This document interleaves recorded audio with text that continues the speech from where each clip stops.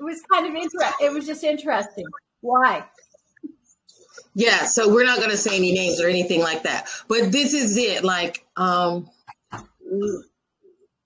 I guess this is why we can settle into this kind of group as observers and discuss things yeah. without being emotionally attached is because we're always looking to see what what is it that the person wants? What is it that they're trying to sell me? How are they trying to recruit me? What kind of movement are they trying to get me to join? What is the big picture? Where is the big aha? And it's kind of like um gosh it's just like if i think of it it's like willy wonka and the chocolate factory right? It's like you won the free ticket but it's like so many little gotchas when everybody goes there like oh you're gonna get sucked up into a chocolate tube. Oh you're gonna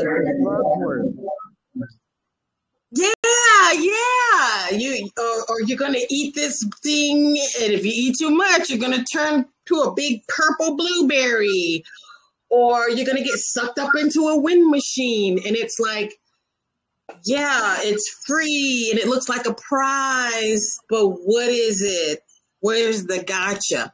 And I think this is where we're at, where we're watching people get sucked in because they they see what the shiny object they got the shiny object syndrome and they're getting sucked into whatever kind of movement because i call them campaigns because i see things like star wars it's like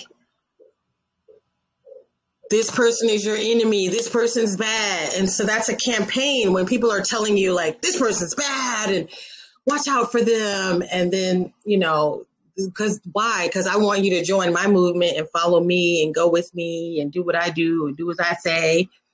Or another campaign of, you know, even reading certain books, like they want you to get sucked into reading this book so you can join a club and you can be a part of this. And, and we're just constantly being exposed to campaigns. And um, as we were discussing earlier, with the government, there's always a left and there's always a right. And the left is trying to get you to hear what they say so you can go against the right, not necessarily for your own safety, but so they can herd you into a direction and I like to explain this thing about like the Hillary and Obama because that's one party, right? But it was like if you're really concerned about women's right, you vote for Hillary. If you're really concerned about black people, then you vote for Obama.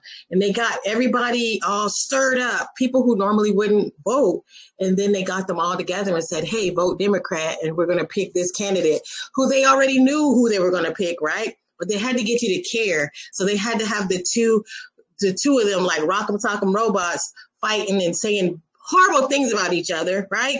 And then all of a sudden they reach an alliance and they want everybody to come together because they wanted you to fall off the cliff together.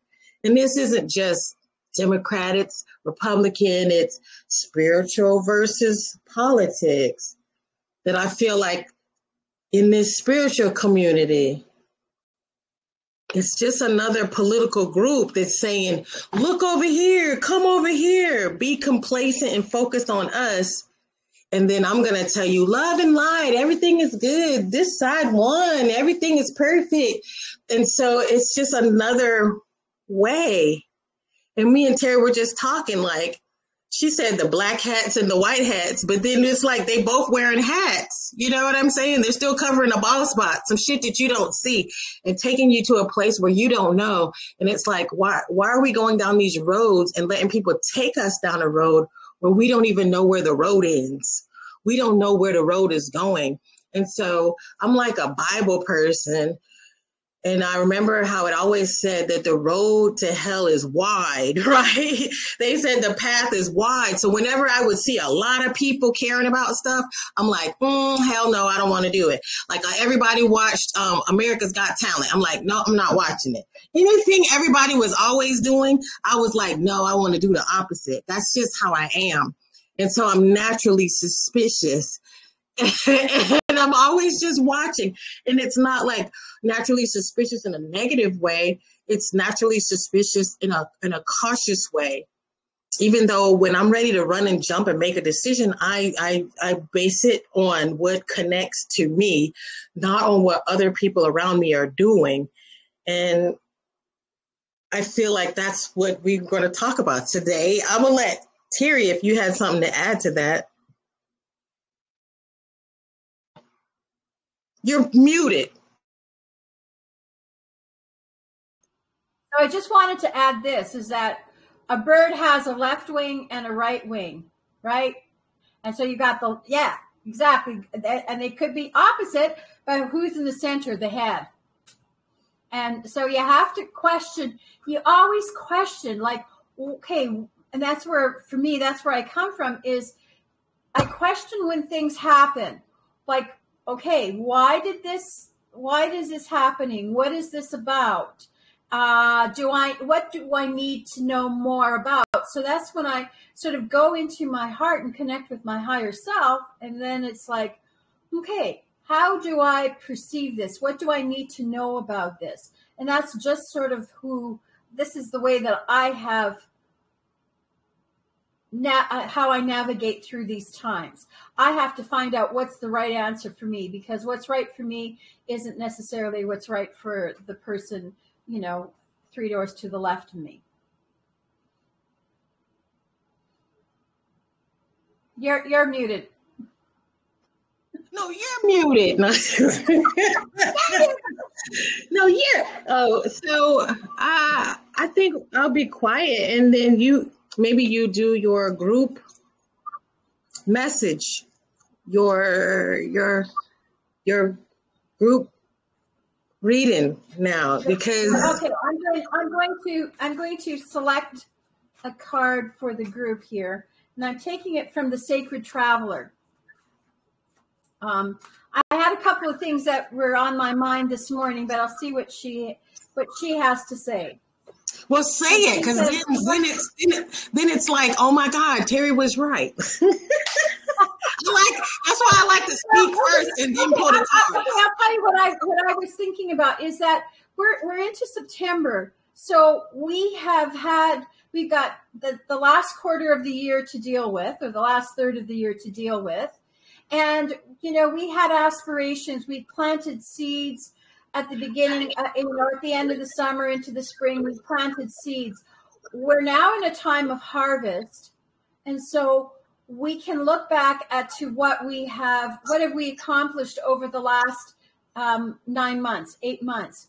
What have we been, you know, what have we focused on? And if we if we haven't accomplished what we thought we would, we still have time to do it. I mean, there's never we're never running out of time. We don't have to have it done by a certain, but it's it's a time for a check in for us because we are going into a new season. We are um, we're in that late summer. We're into that um, season that we would call the Earth season, and so it's it's just that time of of um, taking in our bounties. What did we create in our life or over the last time, and how do we now interpret what what we created over the last time? So, so the card that I took was a grounding and the grounding card is go deep and explore your roots. Well, you know, I think I think um, that's along the same lines as I was I was sort of contemplating is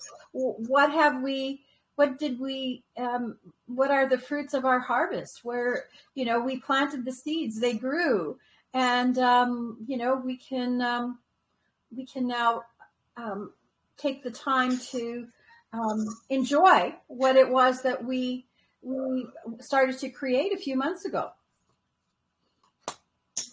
I think so, even on top of that, though, you're saying getting grounded, go to the foundation of what you know is true, mm-hmm. what you truly yeah. believe. The where is your heart?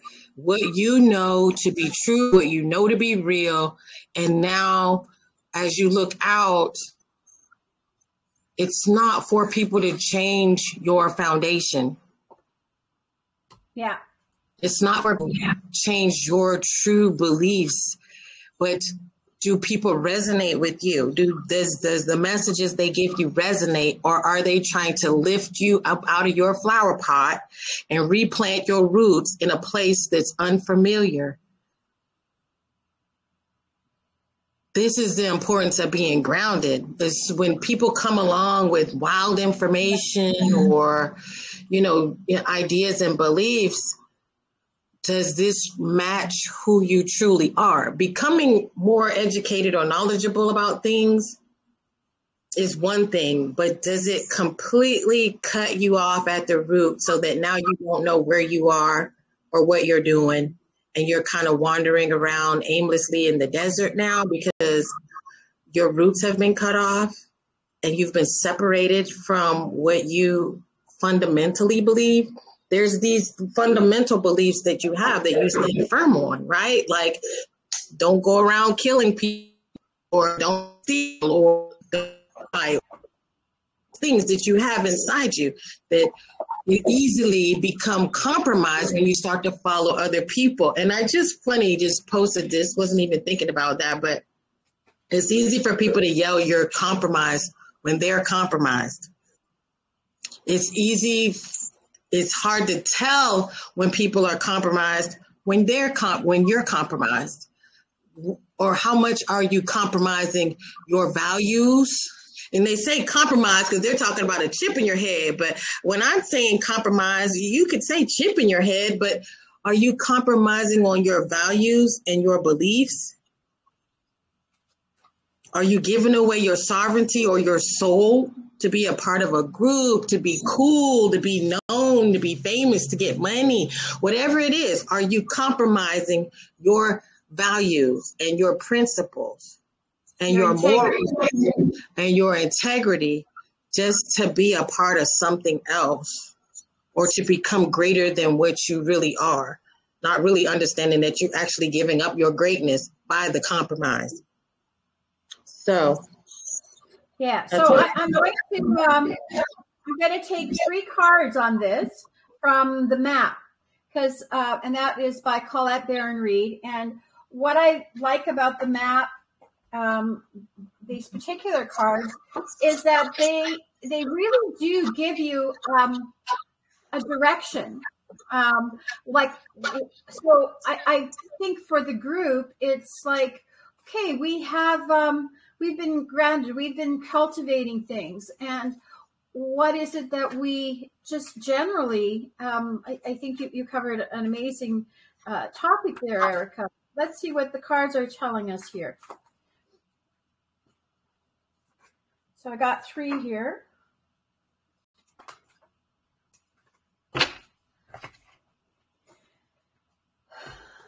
I see. So the first one is the spirit of the place. Well, I find that really interesting because um, we're just we're talking about grounding and the spirit where we are. There is a spirit, there is a vibration, there is a signature of the earth, whether we're talking about sitting in our apartment, whether we're talking about our city, whether we're talking about our country. There's um, vibration, vibrational aspect of the earth that we can connect with.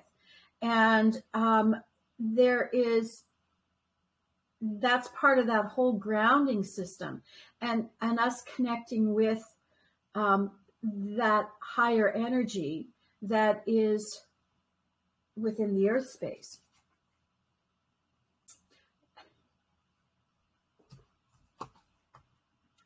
your skin yeah, yeah i can hear you was that? In your in your skin. Yeah, exactly. This is your place. This is your temple. Right. Clear clear your space. And be comfortable in your space. And, and because you, you know, take this with you, whether you're home or not, you take this with you. The spirit of this place. And you take the spirit of this place with you no matter whose house you're at no matter where you go. You're in you got the place right? You're the space the spirit in this place. And wherever you go you ground that. On an airplane you can ground. Yeah. In another country you can ground as you travel. Yeah.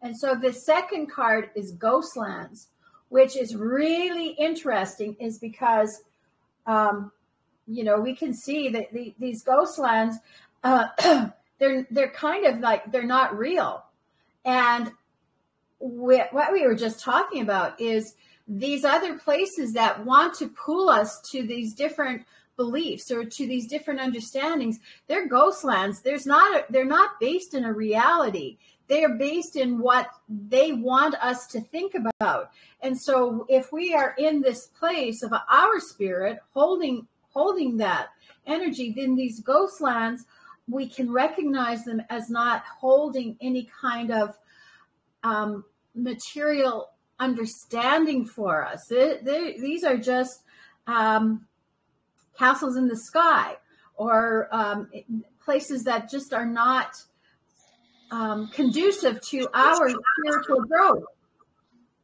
Apparitions, chasing mirages, unreachable goals, false pretenses, smoke and mirrors things that are coming at you. Um, do you ever see that movie, The Wishmaster? It probably not. This is an old movie. And so, but when you make a wish with the little leprechaun guy, and it, everything turns into shit because it's not what you think it is, right? You, you know, they, they even say even when you mess with a genie or a jinn, like you, you wish for this, but you actually get that or when you put hope and potential and you think someone else is going to save you and they're not. When someone else is going to fix it for you but they're not. Or you idealize people but they're not what you think they are. There's a false right. image of you that you think is solid and firm and if you put your hands on it it disappears. It's false. False hope false people false guidance I think this is leveling out. it's just amazing. Well, and it, it's interesting. What's the number here? 17, right? How many people have placed uh, a value on that number? Um, you know, like we can look at um, at the past, we can look at the future, but we have just here and now. And so this other stuff is just these, like you said, they're mirages. They're not they're not based on on on a reality that we you know that we ground ourselves in. And funny and, how know, we talk about the government as well and then 17 Woo-hoo-hoo, man. it, you know and then the last part is making a choice. It is uh, so it's always we always have the the power to make the choice right we can live in these ghost lands or we can connect with the spirit of the place and the spirit of ourselves and and be grounded in who we are um, instead of chasing these lofty castles in the sky or mirages that are nothing is they're not as they appear. So we have we always have that choice to make. We we make the choice. And it's sometimes sometimes making the easy choice is compromising ourselves. You know, like, oh, well, I'm just going to go along with everybody else because it's easier instead of taking, making the choice and say, damn, I'm not going to watch, you know, uh, America's Got Talent because everybody else does. I'm going to watch something totally different or do something different. And maybe that particular night, I'm going to go and, and, uh, uh, you know, like start doing some uh, beadwork instead of watching TV those are things that we make that choice and it's not always the easy choice but our society has gotten to uh, to a point where oh we just we just crave the easy point right? We we we go we go to the fast food restaurant and sitting and and you know going to the grocery store and thinking about what we're going to cook for supper you know what's something good and nutritious or you know are we going to go to the fast food chain? Because that's easier but it doesn't mean that it's better for us. But we've made that choice. But it doesn't sustain us. It, there's no sustenance to it. Meanwhile you know you can decide to make your dinner and you can go out and buy the fresh vegetables and fresh fruit. Well you've now created a, a whole essence and and you've created something that's going to nurture you Um, and you know, meanwhile, you go to fast food and there's no nurturing there. You're just filling a spot and then it's gone. Choosing what you're going to digest whatever information, whatever you want to take in, and then you just put it into the terms of food. So choosing what we're going to digest. And are you going to swallow it whole or are you going to take a sip? are you going to eat the meat and spit out the bones? How are you going to eat this? How are you going to how are you going to digest it? I love it. I think this is one of the most powerful messages uh, that we've come together to look at and it just came together beautifully, Terri wonderful. I just said, like what you just said though. I was on the chat and somebody was talking about something. I I I wasn't. I ain't trying to be judgmental, but it seemed like the person was to the the doom and gloom type of situation, like still catering into the fear. And I had said to her, "It's like you can only consume what you eat." You know what I mean? So that's the analogy for the day, right? You you can only give others to consume what you have, right? Like if you don't have love, you can't give others love. If you don't have um, a foundation of positivity, then you can't give anybody else a foundation of positivity. And unhealed people can't go around healing other people, right? Because you're still unhealed. So I think that that's what Dom Dom is getting at too. But um, this is the recording for prosperity, or what do they call it? Posterity or prosperity? We're both, right? It's the reading of the day. This is, this, is, this is what you know. This is the thing about what we reap is what we sow. Yeah. Well, oh, pardon me. What we sow is what we reap at school, we we you know before the football game, they said this is the pigskin prognostication. So this is the this is the prognostication for the week. Get your mind right. and um, I'll I'll go ahead and end the recording unless unless you wanted to add something to the recording, Dom. I didn't even know you was recording. Yeah, I know. But yeah, just that's all though. You know, deep. It's a lot of things you and already said that I was, you know what I mean, like be thinking and I've been working on anyway, so it's right on. Yeah. You're not negative for being suspicious because it's not actually being it's being suspicious. You're an observer and you're actually in the game. You're actually like how do you say it? Like you're actually participating and not just going through automated motion.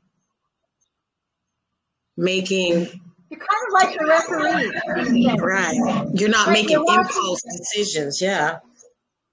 Yeah, you're, you're, you're not making impulse decisions. You're making educated, educated get deductions. I don't want to say educated guesses, but we we a lot of times we making educated guesses.